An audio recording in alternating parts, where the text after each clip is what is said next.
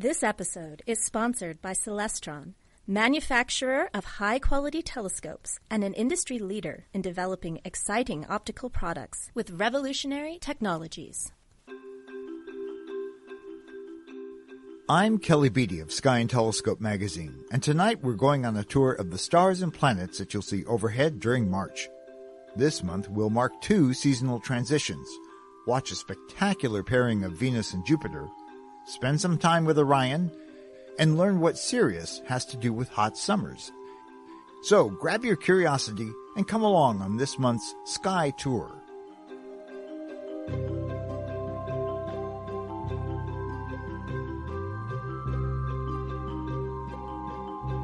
This will be a month of transition in more ways than one.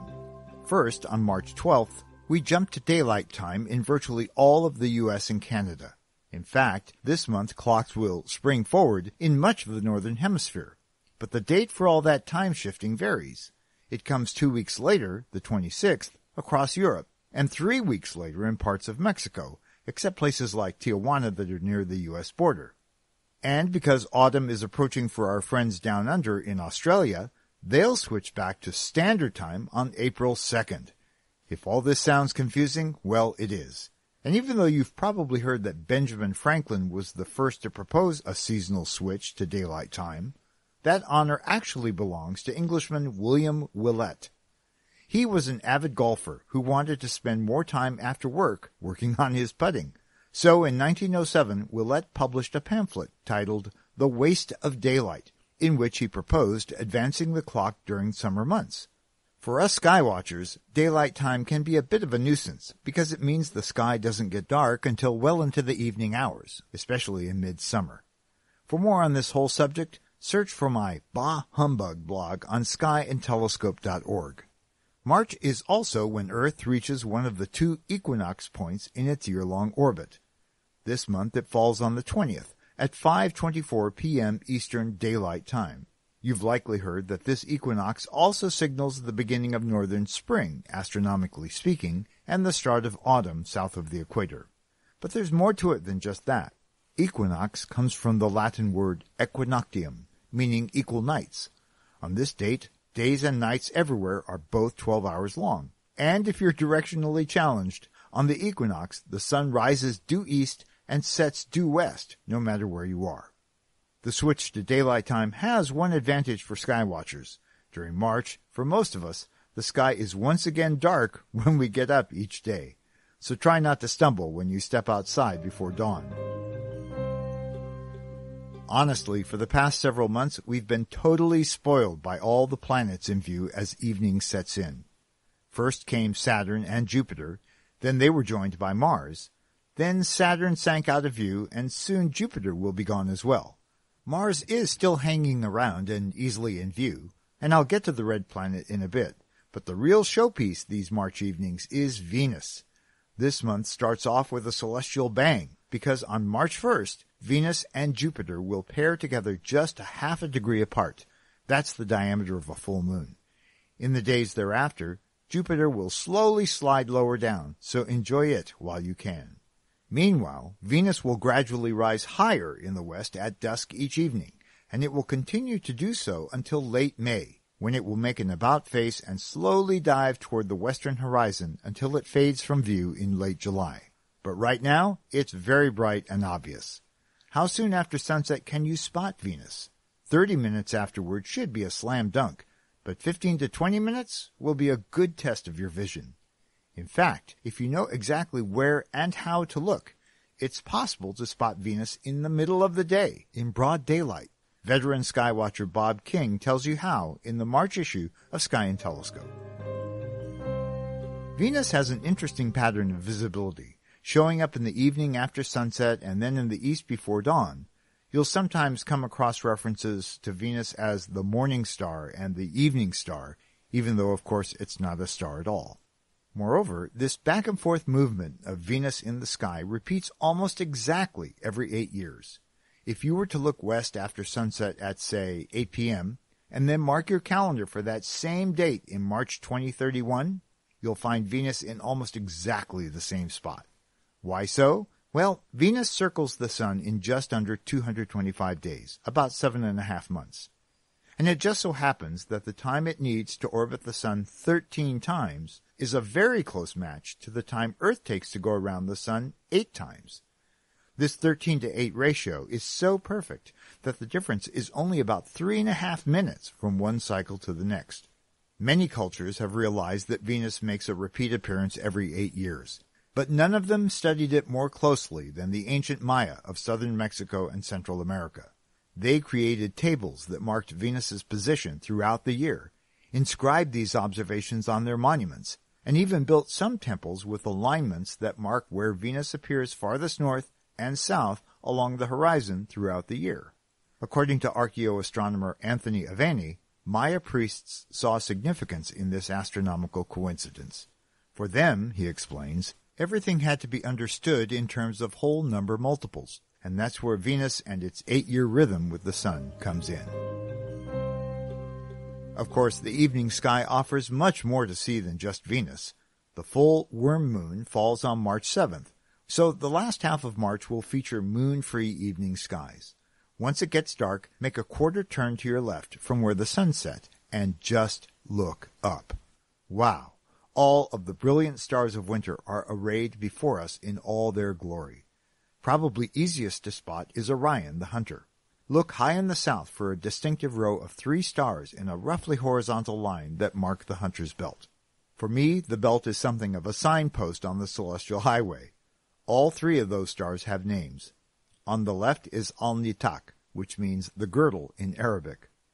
In the middle is Al-Nilam, which translates as string of pearls. And on the right is Mintaka, which means the belt. They're all very close to the celestial equator. That is, if you took Earth's equator and expanded it out into space, it would pass right through Mintaka.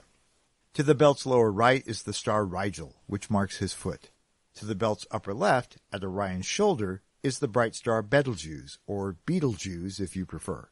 It's often stated that this is an Arabic phrase meaning the armpit of Orion but a more careful translation of the original Arabic probably refers to his hand. Anyway, do you remember that a few years ago Betelgeuse was mysteriously much dimmer than normal? It's returned to full brightness now.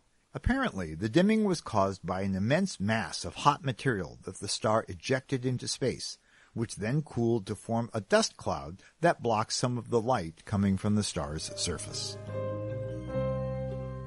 Let's use Orion to make some other easy identifications. Directly above Orion's shoulders, by about twice the width of your clenched fist held at arm's length, is the planet Mars. Follow a line through the belt stars toward Orion's upper right, also about two fists away, and you'll run into the bright star Aldebaran and the constellation Taurus the Bull. Beyond Aldebaran, in that same direction, is a compact little cluster called the Pleiades. Meanwhile, to the hunter's upper left are the stars of Gemini, with the twin stars Pollux and slightly dimmer Castor. Higher still, above Mars and almost overhead, is the bright star Capella. Now, look to Orion's immediate left, and you'll see Procyon, the alpha star of the constellation Canis Minor, the little dog. There's not much to Canis Minor, actually. It's one of the smaller constellations to begin with, and Procyon and the dimmer star to its immediate upper right are pretty much the whole show. To me, the constellation looks more like a hot dog than a four-footed hunting companion. To Procyon's lower right, by not quite three fists, is brilliant Sirius, the dog star. Sirius and Procyon are practically next-door neighbors, cosmically speaking. Respectively, they're only 9 and 11 light-years away. Sirius is the brightest star in the entire sky, aside from our own sun, of course, Keep an eye on the horizon directly below Sirius. It's located due south at 8 p.m. on March 1st, and, thanks to the shift to summertime, it'll also be due south at 8 p.m. on March 15th. Now go back to Betelgeuse for a moment. Imagine that it's at the center of a huge six-sided hexagon in the sky. At the very top is Capella. Going around clockwise, you'll find Aldebaran, then Rigel, then Sirius at the bottom. Upper left from there are Procyon, the twins of Gemini, and finally back to Capella. Congratulations! You have just traced out what skywatchers know as the winter hexagon. All of these stars are bright enough to show up even if you have a lot of light pollution where you live. Sirius is the real star of the winter season, but you can see it throughout much of the year if you know when to look. Sometime in August, it first becomes visible low in the east shortly before dawn. 5,000 years ago, because of the wobble in Earth's spin axis, this first pre-dawn appearance occurred in late June, and ancient Egyptians knew that first glimpse of Sirius came just before the annual flooding of the Nile River. They worshipped the star as the spirit of the river, and apparently they were also the first to depict this star as a dog. In more recent times, skywatchers realized that the dog star rises and sets with the sun during late July, an arrangement in the sky known as a conjunction. Some cultures believed that when this pairing occurred, the heat from Sirius combined with the heat of the sun, creating the hot and sultry weather that often comes in late summer. So they named this period of time, from 20 days before the conjunction to 20 days afterward, the dog days. And today we still refer to this sticky weather as the dog days of summer. Thanks for letting me show you around the stars and planets for another month. If you want more tips for viewing the night sky, including a free interactive star chart for any time or date, check out our website, skyandtelescope.org. If you haven't already subscribed, you can find this sky tour on Apple Podcasts, Spotify, Stitcher, or wherever you listen. And if you've enjoyed this episode, please leave a rating or a review. It'll help spread the word about Sky Tour, and I really welcome your feedback. And if you want to explore the solar system and universe more deeply, check out the full line of binoculars and telescopes available at Celestron.com. Sky Tour is a production of Sky and Telescope, a division of the American Astronomical Society, and is produced by me, Kelly Beatty. Next month, I'll talk about some carnivores that are stalking upward in the eastern sky. Until then, I wish you clear skies.